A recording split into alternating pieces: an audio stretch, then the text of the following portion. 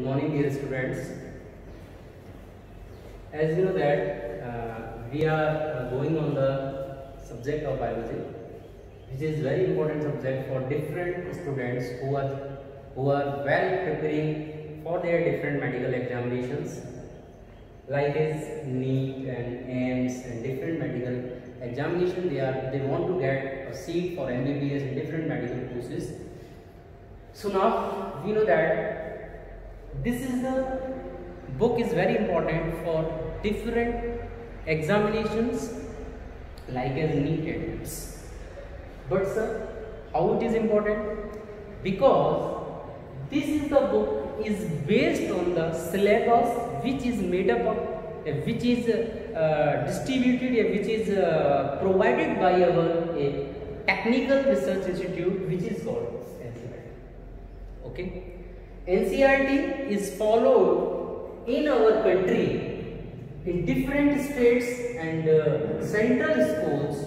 So finally all the examinations, all the medical examinations are covered the syllabus of NCERT book and this NCERT book is more popular in all the students which they are preparing for these examinations. So that is important NCERT. Okay. So in this book, in this book, there are the 16 chapters are included in this chapter in this book. So the first chapter of, of this 11th biology book has living world. The title of this book is living world. Okay. So dear students, living. We know that living world means when we are talking about in our word, about our word, what is word? What is word? Word means the word the our world is basically made up of is basically made up of two things only two things what are these things these things one is called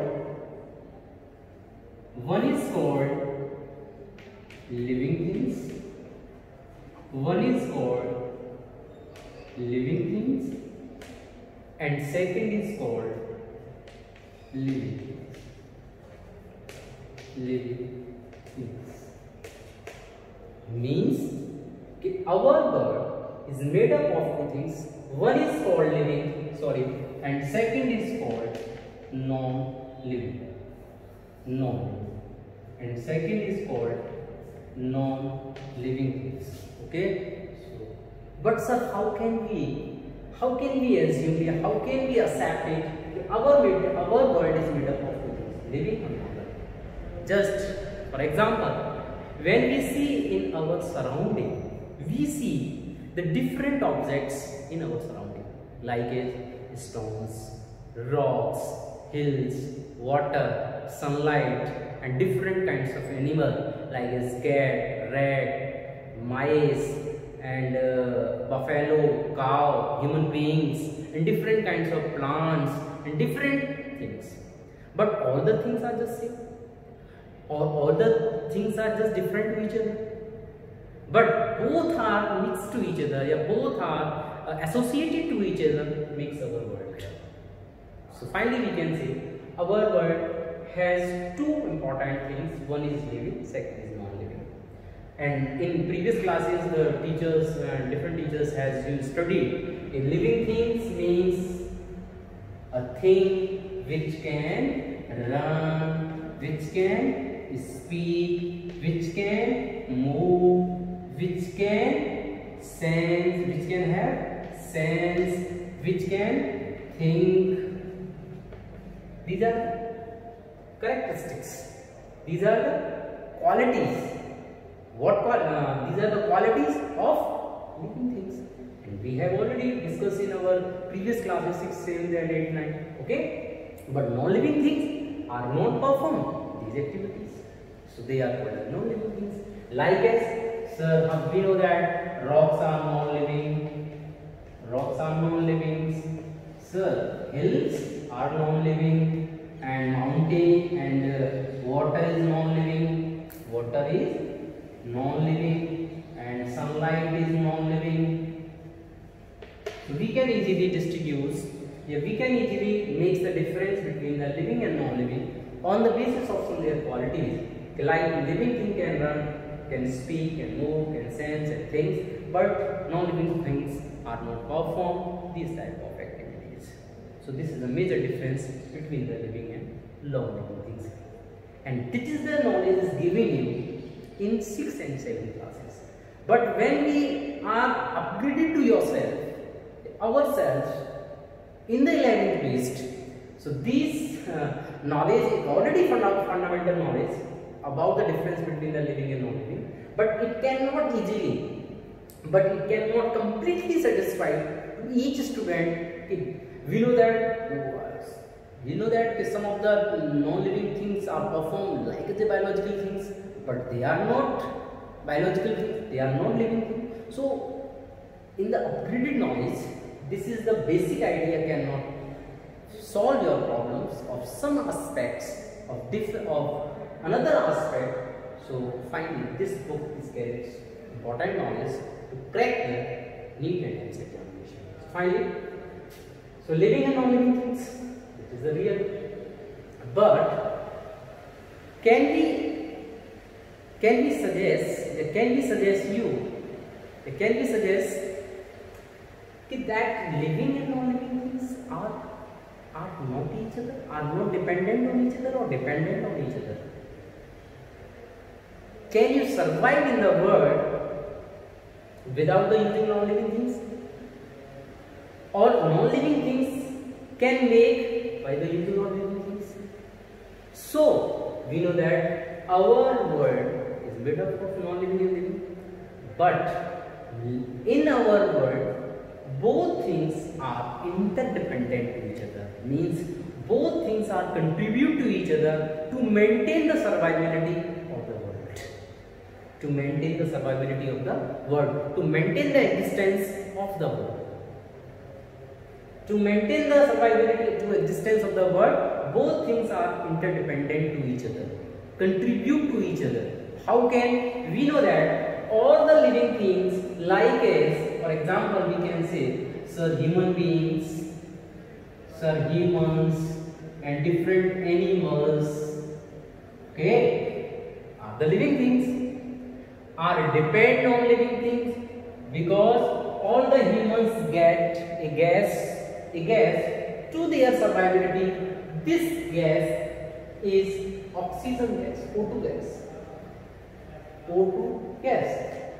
This O2 gas, this O2 gas is a part of non-living, is a part of non-living.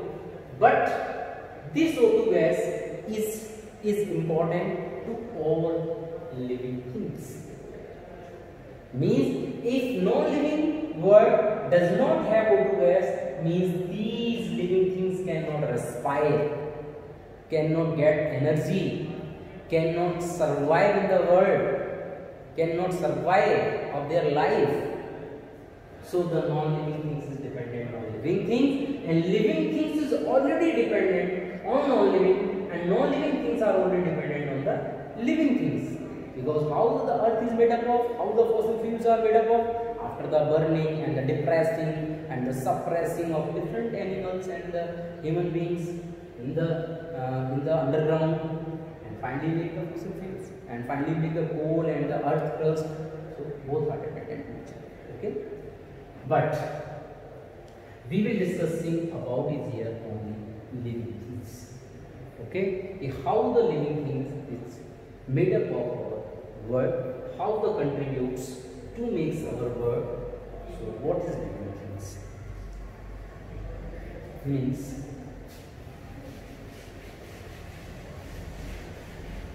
living work,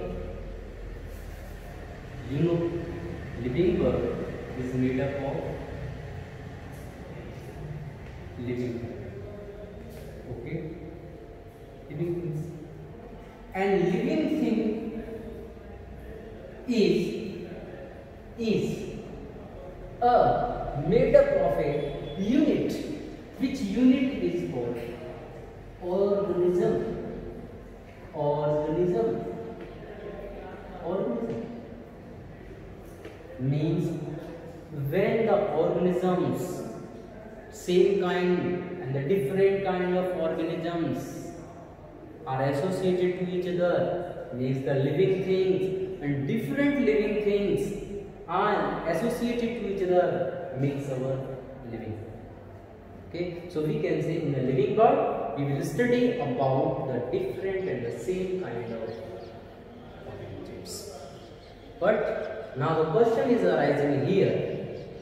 What is an organism what is the definition what is the proper definition of an organism more of the students when we will when we will uh, ask to the student the student give the answer is sir uh, uh, organism is a kind of thing is a kind of living thing which can run which can speak which can move which can which can uh, have, which can uh, transfer their knowledge by their thinking. It's called an organism. It is called an organism. But it is the definition. Is a particular manner. It is a uh, it is a particular manner but the the scientific definition of an organism is that. The scientific definition of the organism is that organism means a a cell or a or a group of cells a group of cells a cell or a group of cells which performs which performs of all biological activities performs all biological activities activities a cell of or a group of cells which performs all biological activities each called each called an organism. Each called an organism. Each called an organism. Is called an organism. Clear? Means there are the two important things are given in the in this definition what first is that what uh, first a cell or group of cells. Second which performs all biological activity. This is the scientific definition about an organism. Means a cell or group of cells which performs of all biological activities is called an organism. What are kind of biological activities? The different biological activities are performed by the organism. We will discuss in next. So finally, firstly, on the basis of cell, a cell or group of cells, organisms are types. A cell, a group of cells, the organisms are of two types. First organisms, on the basis of a cell, a cell the first so we can easily on the basis of the cell on the basis of the now we will discuss is here because this is the important. A cell or group of cells means uh, on the basis of cells on the basis on the basis of number of cells on the basis of number of cells the organisms what? The organisms are of two types. The organism are of two types. One is called one is called unicellular organisms. Unicellular organisms. And second is called multicellular. First unicellular and second multicellular. Multicellular organisms multicellular organism. There are two kinds of organisms. On the basis of their number of cells, multicellular animals and unicellular animals.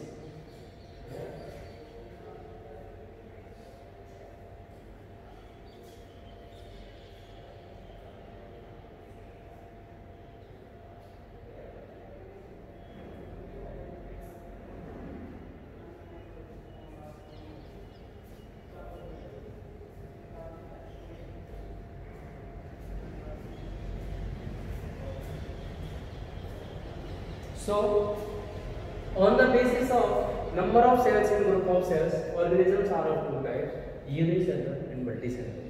Unicellular means, uni means single, cellular means an organism which consists, yeah, which is made up of, yeah, which constitutes by only single cell is called unicellular, while the organisms which is made up of more than one cell is called multicellular okay? So on the basis of number of cells the organisms are of two types. Unicellular is made up of made up of made up of single cell. Which cell? Single cell. And multicellular means which made up of more than one cells. More than one cells. Okay? For example all humans and another okay and animals and the plants and only single like as amoeba like as paramecium okay? These are animals only called as unicellular because they perform all the biological activities in a same single so they are known as a single cellular animals. Now the second term in this definition about an organism is biological activities on the basis of our 11th biology book which carries the NCERT syllabus, what are the biological activities are found in an organism. So now, and these are also known as the characteristics of an organism. Means we can say biological activities performed by organism means the characteristics of the organisms. Means what type of characters are found in an organism, what kind of character can be, can be easily uh, proved that this is the organism not organism. So finally the characters, finally the characteristics and the activities of an organism. Now the second thing, what are the characters of an organism can can prove that this is an organism. So now now we are discussing about characteristics and the activities of an organism. Now the first is growth and development. The first characteristics is growth and development. First character of an organism is growth and development. Growth and development. Dear student, you know that when a young one is uh, born in our world, after some time it's change their shape and size of their body and and regular changing and then change into a uh, different structures. Yeah, into a regularly kind of kinds of body structures. Okay? So growth and development. Growth we can easily uh, uh, understanding by taking an example here. Like when we sow a seed, when we put a seed inside the ground, like as in the rainy season, in the starting of rainy season, we put a mango seed, the seed of mango, okay, seed of mango put inside the ground. On the germination, on the germination, germination means in favorable situations, the seed will develop into a new young ones. It's called germination. Means germination is a biological process in which the seed is rises into young ones in favorable condition. So after some time, this seed will be modified into a small seedlings. Okay. And this seedling is carried two parts. One part will be appear in aerial which is known as aerial parts. Yeah, we can say soup part and the second part will be present underground will be known as part of roots.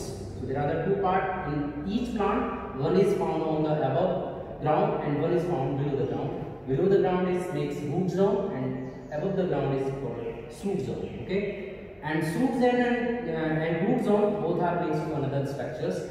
But we are we are discussing how the growth is proceeds, how the growth is carried out in all the living. So finally we will take an parameters. We will take an parameters to calculate that plant is going on their growth or not. So we make we make a parameters of height of this plant. If the height will change, means the growth is happening.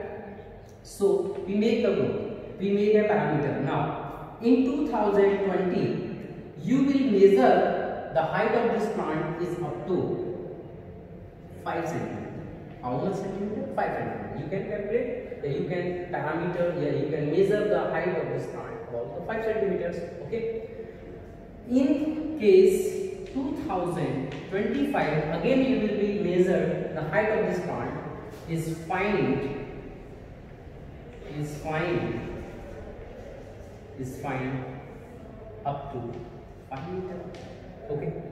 In 2030 2030 you will be feel that this plant is change their height in particular area up to 20 so now let us discussing about this what is happening here I will ask you question on the student. The answer of this question will give. The answer of this question, the students will give is sir, the height of the plant is increasing in a particular time. Means, is growth happening or not? You will give the answer. Absolutely sir, growth is happening in this plant because in case of 2020 it has only 5 centimeter, in 2025, 25, in 2025 5 meter, and in 2030 20 meters. So now the the height is increasing, growth is increasing. So what are changing? You can see the height of changing is increasing. So we can define we can define the the term of growth the change the change in shape the change in shape and size. The change in shape and size of an organisms of an organisms of an organism in a particular time in a particular time particular time is called as is called as is called as growth. This is the definition about the growth. And development is already growth is happening. Development means it change in shape and size of an organism. Means it increasing, it change shape and size means it increase their mass. It increase, it increases its mass. Mass means it it carry it it it enlarges their shapes. Okay, so the change in shape and size of an organism in a particular time is growth. But the next problem is there. When we see, when we see of a rocks, when we see of a rocks, now this rocks is is 20 meter. Okay, but in 2025, 2025 this rock is largest up to 50 up to 50 meter so can we say the rock is already the rock is also living things can you see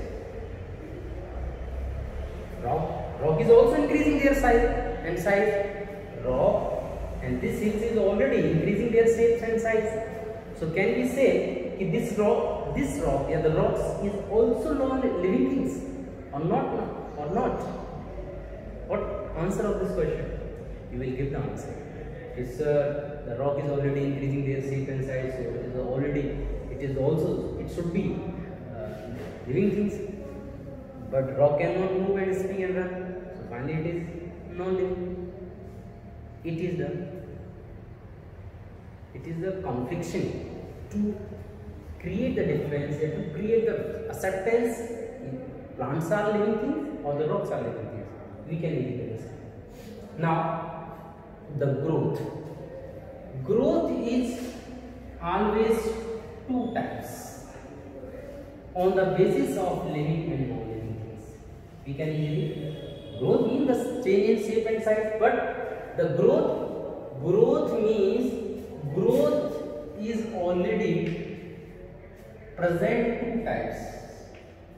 One is called internal growth means internally and second is external and it is the basic difference to difference it is the basic difference to understanding about if this is the growth is carried in living beings and this is the growth is carried on non-living things.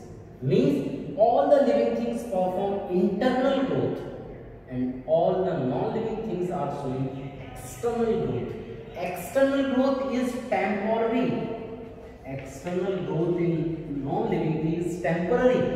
Whereas internal growth which which uh, uh, showing in all living things is already known as permanent permanent and unreversible and not non-reversible so what is non-reversible means all the living things showing internal growth and internal growth is always permanent and non-reversible. How can you say that? Okay, when this seed germinate, it carry on only 5 centimeter height in 2020, but after some time, 2025, you will be see that it has 5 meter height.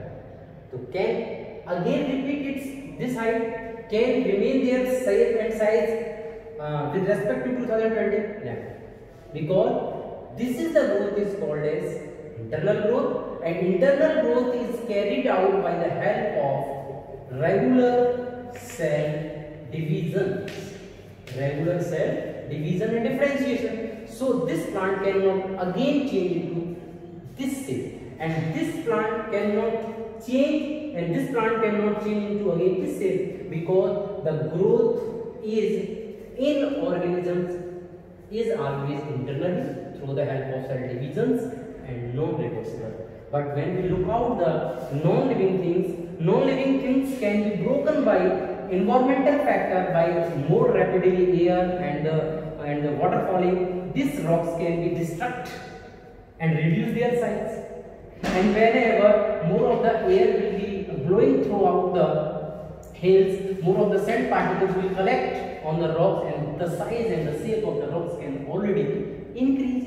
So finally this is the type of growth is called externally and external growth can be reduced in some time and and can be some time. So we can say all the living things show only the internal growth, it is a permanent growth and it is carried out by the help of regular cell divisions okay and cell differentiations and that cannot be non-reversible it completely and change into again and again but non-living things are not showing internal growth they are showing only temporal growth so this is the basic difference between the growth and development of living things clear? Now let us uh, and, and question is asked here. The internal growth and external growth. Internal growth is found in all living things and external found in non-living things. Okay? So this is the basic characteristics of the growth and development. And some animals are not moving not showing their particular growth. These are the some hormonal okay now the next characteristics of the animals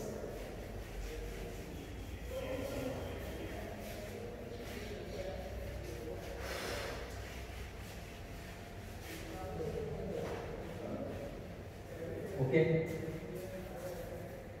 second character of living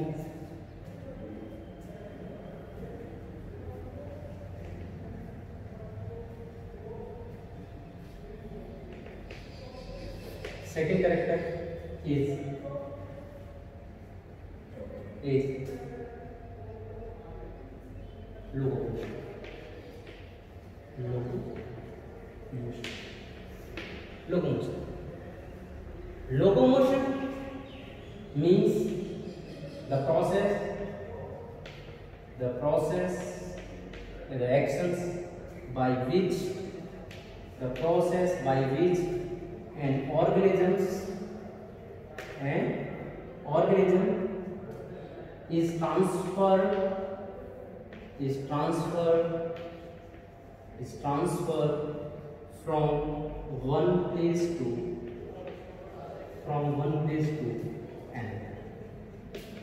From one place to another it is called locomotion it is called locomotion means that much we know that uh, when we will move to one place to another place by the help of legs and the locomotions process by which an organism is transferred from one place to another is called the locomotion and the locomotion in animals locomotion in animals carried out by the help of by the help of locomotory organs by the help of locomotory organs. Locomotory organs the organs which help to transfer animals from one place to the another is called locomotory organs. Like it in animals in animal in in, in humans. In humans you know very well legs are helpful for the locomotion legs are act as a locomotory organ. In fishes in fishes they have fins are important fins which are uh, which act as a locomotory organs and different uh, animals have different kinds of uh, locomotory organs and uh, we can say in birds in birds wings are locomotory organs. So we can easily uh, see locomotion is can be easily seen in all animals because they have some locomotory organs by which they can move from one place to another place. Okay